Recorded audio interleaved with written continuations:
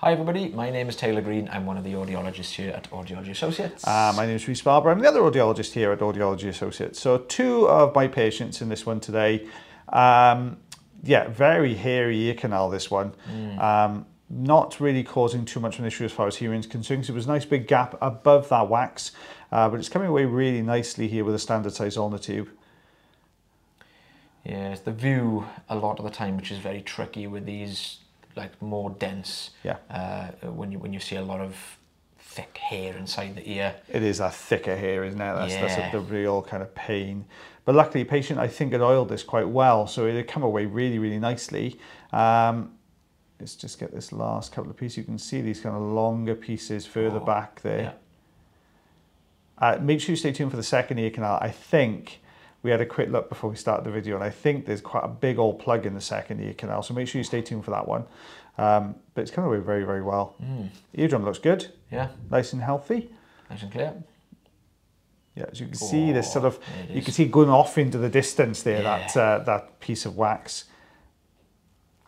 Now you had one of these the other day didn't you but it was quite long and it was trying to negotiate that first bend. Yeah and it's just breaking away in little pieces. well, not well, big pieces. But... Yeah, you never know what you're going to get. So you don't know whether no. it's going to be brittle or, or, you know whether it's going to stay together. And chances are it'll be more dry or hard deeper into the yeah. ear because the oil, if it's really blocked up, the oil won't really get that far. So you'll have a softer section at the front and then a harder section at the back usually. So I've negotiated the first bend, but it's still intact. So now I've got to negotiate the second bend. So I'm just shifting position with the endoscope. You can see just how thick those hairs are there mm. at the mm. entrance to the canal. So just trying to bend it almost back on itself now to get this out. But have a look at this when it comes away. Struggling to get it past that other bend. Here it comes. Yeah. Here it comes. I did try and kind of flick on the side so you could see. Look how long that is. Oh. That's, that's a beastie. Looks like a uh, like a sausage. It does look like it's like a wax sausage. That's the title of this video. Wax sausage. Wax sausage. That's going to have to go into the title of the video. Uh, a little bit of keratin at the base of the canals mixed with some wax here, so I'm just peeling it off with a fine end. Yeah, nice little, nice little tap. Oh. just trying to negotiate those hairs we are at the entrance there, trying to get them out. There's one, still little bits left. Yeah. yeah, it's surprising. There's that one little dark section there, and there's another section. So I'm going to go quite low and see if I can take them both at the same time. Surprising how quickly this can build up for some patients, though. I mean, there are a few patients that we do see on a regular basis, sort of once every uh, or twice a year, yeah. once every six months.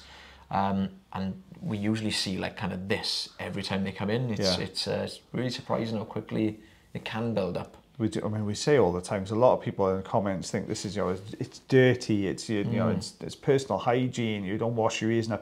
It really, guys, has nothing to do with that. It's all down to your genetics as to how much and what type of, of wax you produce as well. So he's a chunk me. Look at that one. This is about a two centimeter plug. That is a two uh, inch and a half altogether. That one. Cool. Uh, was it three and a half centimeters? Three and a half centimeters. Yeah. Oof. So yeah, that is a massive plug when that came that's out. A, that's a beast, that one. so we got this really dry uh, wax of mine again, this one now. You can see I've popped a little bit more. You see the colour difference there from the first shot to this one. Yeah. Just popped a bit of oil in. I'm just here to observe on this one. This you are. This, this all, it's all me. I know. I got to all talk about this one. Look at oh, that peeling away. Yeah, you can see the ear canal is starting to show itself underneath this wax. Always a good sign. That, that layer of keratin under there, you just got a grip mm. on that and the whole layer peeled off. I, that's not the whole thing. Obviously, that's that's going to break away. Yeah. Yeah, either that or you're going to get a, that kind of ribbon effect with blocks all the way down it. Yeah, it's going to start pulling it forwards. Yeah, there you go difficult now to try and get the angle to get a good suction grip. Yeah, that's the thing. You, you you're changing kind of position yeah. to hit that wax at the at the right angle. Oh, same yeah, thing again. It's cleaved yeah, off again, isn't it? Really holding on that bit. Yeah, it doesn't want to come away easily. It really doesn't want to come away easily. I'm not too sure. I think, hang on, I think this might be, I think the reason it's holding on tightly, I think this is a mastoid patient. Ah, okay. Um, when we take this away, you'll see the cat. I'm pretty sure this is when you'll see the cavity. Now, this gent came through six months ago. And we've always got to be really cautious with this gentleman when we suction because he's really, really prone to getting um, the caloric effect, which is basically where you feel really giddy when um, when you have wax removed, and it's to do with temperature in the ear canal. Um, so he really suffers badly with it. So he does feel really giddy almost instantly as soon as you put the suction tube in mm. there. Um, but obviously you want to keep this as clear as you can. So obviously with the cat with the, the, the cavity there, you don't want that wax forming and hardening in the cavity. No, it's very very sensitive as well. Oh, it's coming away nicely. Look at yeah. that. Yeah. We'll have a good old look now at the next mm. section. There you go. You can see that cavity there. We will show you it in a second. You'll have a good look around it in a minute. But we've just got this kind of thicker wax debris here right at the entrance to the canal. So I'm just taking those your, bits. Up to your left. Yeah. There you go. And we saw him um, oh, a few. I saw him a few months ago. You can really see that cavity going up. Oh, Look yeah. at that going all the way along there, and that little shelf there. But yeah, fair size mastoid cavity, that one. Mm. But just tidying up the outside edge here.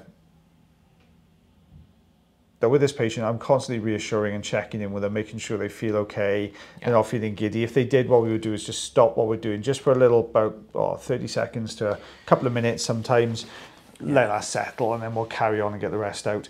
Now, I don't think there's a cavity on this side. I no, think it's just the one. You'd, you'd normally find if it does happen, the the, the sort of giddiness that the, um, that the patient might get.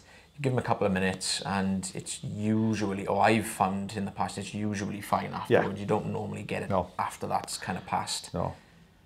But we had to do quite a thorough clean out because he had been going to a different clinic um, up until his last visit and uh, we had to do a really thorough clean out because they kept saying that there was a piece they couldn't get out, right. which was in that cavity, but it was a it was a really dense piece of skin, yeah. uh, which I really didn't want to leave there. So I took it out for him. And he did experience a little bit of giddiness when I took that out for him. So, um, but he was a lot better this time when he came through. Oh, good.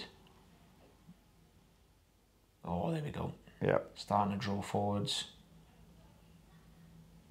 that much kind of thicker plug now breaking down at that uh, that back end of the, mm. the, the canal there, so the osseous portion of the canal. Still quite dry there, you can see. Didn't have this here cleaned out last time. Um, so I think it's been about 12 months since this one's been done. It didn't really need it. It wasn't too bad when we saw him six months ago, but... Uh, it's built up quite a bit. It's built up a fair old amount, mm. yeah, in that six month period. Yeah. I think there's another oh. section just broke away again then, yeah. I think. Yeah, there you go. Gosh, that has built up quite quickly. Quite deep, isn't it? Look at that. It's really deep.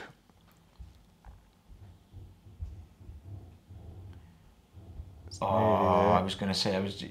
You're just kind of hoping with these ones that it's not going to be wet. Yeah. Because that usually starts happening. It just comes away little tiny bits, and we're hoping the whole thing kind of lifts. Yeah. You really want to see that whole section pull forwards. Oh, just like that. There we go. It's always a big relief when you see the whole thing oh, I know. jumping up. It's when, you, when it breaks off and you get that little bit that's still wedged down, you're like, oh. You're putting big bends on the fine end to try and get down into it, yes. Sorry guys, the battery on our camera ran out as we were recording that bit, so we might have changed position slightly, but we're just managing to get the entrance to the canal. It's almost out. Typical happened right at the end. It did. We had about, about 30 seconds of video left to voiceover ah. and it just died. Um, there we go. So just cleared all that out.